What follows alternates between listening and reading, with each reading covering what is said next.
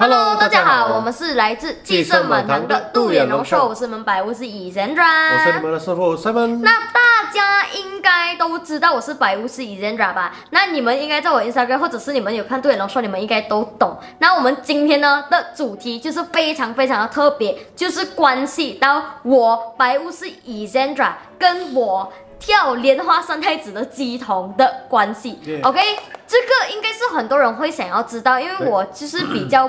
没有去讲这一方面的东西。那其实我从巫师到这个鸡童，其实两个方面呢，就是非常非常大，就是不一样的地方。所以今天我们就来分享一下，就是我的经验。那我们今天就呃，因为时间有限，我们也不讲前面修行啊，我们也不讲巫师怎么样过去到怎样怎样啊。那可能我们放一集。但是呢，我们今天就注重于法教方面的，就是我们的法，就是法门。OK。那之前的话呢，我是有一个法门，就是我们的百巫师的巫师西方的法门。那现在呢，我就是有缘的被神明选中，当成是莲花三太子的这个神明代言人这样子。然后呢，在这两个之间呢，就很多人在网上会做对比，为什么你是巫师，然后你又是鸡童这样子？所以他们很喜欢对比。所以的话呢，我觉得这个东西呢，也不需要去对比，因为这个东西都是一个缘分。那我们有缘的话，我们会去分享，哎，怎么样从那一边变成这一边呢？这样子。但是呢，我们今天要讲。一下，哎，巫师的法门跟鸡虫的法门有什么差别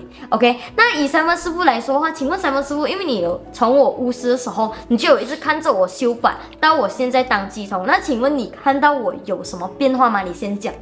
其实变化是有的，是很大一下的啦。嗯，因为你修这个呃鸡桶的话啦，嗯，在这个法教跟你的巫师这个法教又是不一样的。对，其实因为时间有限，我们就讲讲比较简单的啦。对，我们讲几个点。就是在巫师方面，对，因为你巫师方面比较多，看到你的修行是在外面大自然的，对，所以你在外面大自然呢，你就比较比较 freedom 一点，就是比较自由一点，对，所以你的修行的自由的灵魂。啊，自由的灵魂，然后你的你的修行方式，你的跟这个呃宇宙的这个合一的方式呢，嗯，就比较偏呃。西方这样的，对，所以就不就比较严肃，因为很多人讲我巫师的时候很凶。你讲像西方也不是，因为其实呢，那些土著也是这样的。对，很多就是跟大自然的修法都是这样。但但是你在鸡桶呢，嗯，你在庙啊，就比较严肃啦。然后你坐在你的神台前面，他们又讲我巫师比较严肃哦。其实我来看呢，嗯，可能你在法家这个庙里面表演说哦，是哦，因为啊，你为什么你在神明前面呢？在神台前面你打坐，就感觉看到你好像有一点压力这样子哦。然后你修行打坐啊，就是啊，就感觉好像跟你在外面修你的巫师跟在庙是完全不一样的。对，应该是，因为其实观众很多人就讲哇，这么白巫师已经让你做巫师法的时候，你的脸这样凶，你这样严肃的这样子，然后这么你跳鸡童的时候啊，你像你帮就是太子来的时候，你这样可爱可爱这样子的，所以很多人会很像有一个反差这样子啊。但是其实啊，Simon 师傅你是看到我真正在修法，就是不是给人家看到的时候，我在修法的时候，就是在巫师的时候会比较。就是你像比较 freedom，就是自由一点，自由的灵魂。但是我在做这个鸡同修行方面的时候比较严肃。对，这是整个倒反哎。对。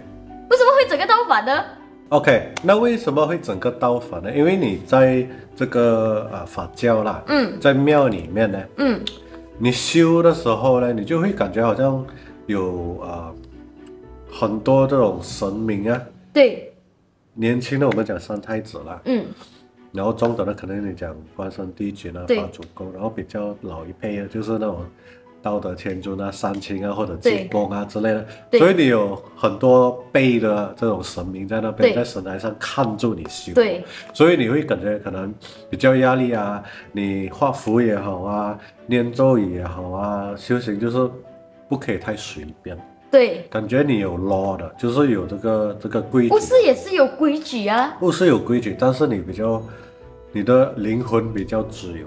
对，没有，我觉得啊，什么时候会这样讲是为什么？因为我觉得会不会是因为，因为我我们对啊，我们在修这个法教的时候啊，就是跟三太子修行的时候啊，我们打坐的时候啊，他们会给我们看很多东西，然后跟他们很严肃，是神明严肃，你知道吗？对。因为啊，在这个巫师里面，我们的神明啊，或者是我们的这些灵体都好啊，他们是比较想要你自己去跑，你自己去玩呐，然后你自己去看呐，你自己去找，然后宇宙会安排给你。但是如果是讲是三太子或者是济公他们的法门的话，是完全不一样的。他是要你中规中矩，跟着规矩的去修行修法，然后跟你要很严肃的对待，而且他会去考验你。他们很多考验，就是我在呃，就是修这一个法门的时候，哇，很多考验，很多很多考验。然后他们就很像这些考验啊，他就跟你讲一句磨练成钢，对不对？他就跟你讲磨练成钢。所以其实我觉得三分师傅你在旁边，可能你看到我这样，应该是因为神明严肃。因为的话，我们巫师的话呢，因为我已经很久了嘛，在这个巫师，所以巫师的话，我们已经是呃习惯了啊，或者是我们出去就是等于。因为我身为一个呃，虽然是我的脸看起来年轻啊，但是我在巫师里面蛮老了的。所以如果身为一个老巫师的话，我不可能我再出去，然后我还要坐在神的前面，在那边跟他怎样怎样嘛，对不对？或者是我要去问他我要怎样怎样做嘛？因为我已经知道了，所以你可能会比较看到我比较自由啊之类。因为我们的巫师方面啊，他是比较注重我们的灵魂的成长。这样子，但是呢，法教的话呢，如果是三太子的话，比较是呃，就是规矩这样子，然后或者是法门，就是要画符啊，那些全部要跟着规矩啊，像那个符上面要怎样怎样啊之类的，然后下法的时候要怎样怎样，所以他们会有一个比较多是一个呃有一个框架的规矩，就是他要你在那一个范围里面。但是我们巫师的话，我们的法是我们可以自己去创造的。这样子，所以的话呢，每一个神明的话呢，为什么会这样压力呢？就是因为每一个神明，比如说今天我跟济公，或者是我跟关帝爷，或者是我跟三太子都好，三个三个不一样的做法了。对对，所以变成了我要很集中精神的去看他们要教我什么东西，然后我才能够去传达出去。这样子，因为呢，为什么压力？因为如果我传这个东西出去的话，我传错，是我要被惩罚哎，对不对？所以我当然严肃啊，对不对？就比如说啊，济公的法门了，对，济公你去传这样子，然后你传错了。你先看到他的扇子先飞，对啊，那个扇子先翻你的脸先咯，对不对？啊，所以我们作为这个神明代言人的话，我们也是有一些呃，就是你们不知道的压力啊。就是我们如果你像比如说我们庙啊，我们要传法啊，或者什么东西都好，我们如果自己交错啊，我们会有就是被罚的。所以在在这个法门呢，比如说。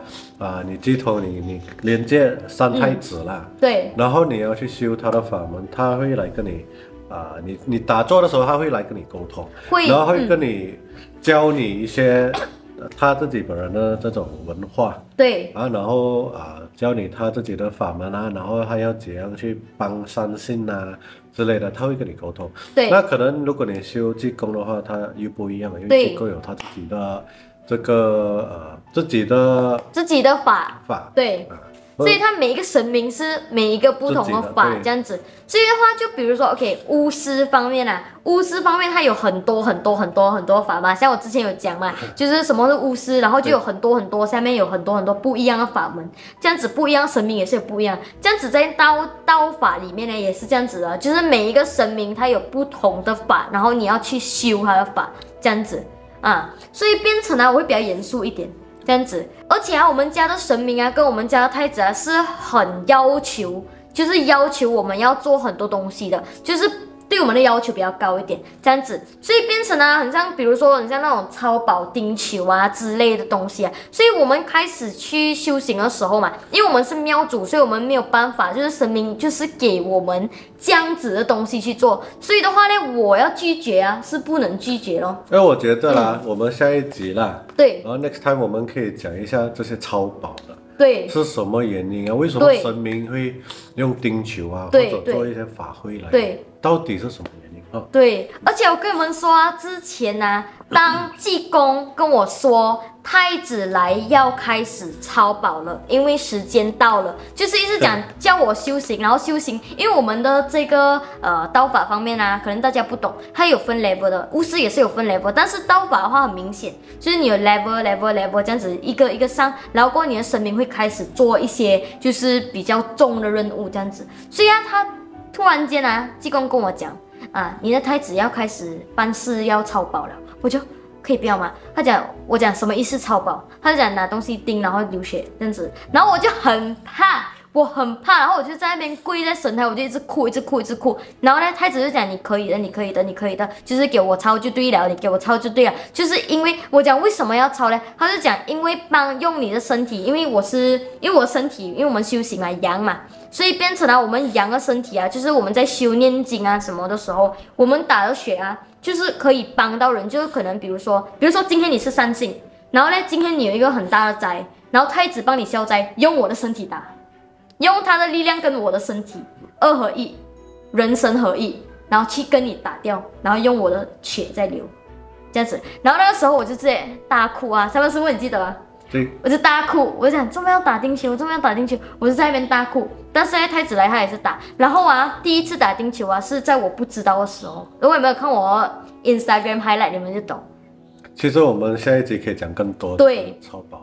对，反正的话呢，那个时候第一次超保的时候，就是在我完全不知道的情况下，我完全不知道今天请了他，他会超保。然后我下来的时候，然后他们讲你背后会痛吗？太子超保，我就哈，然后我就去那边什么什么，我就在那边看啊，那个时候就开始超保了，然后我就有点吓到。嗯，这样这今天这集呢，就是百巫师 Ezra 跟这个系统这个两个大分别了。对，哎，其实我性格方面有差吗？性格方面呢，其实是有。有啊。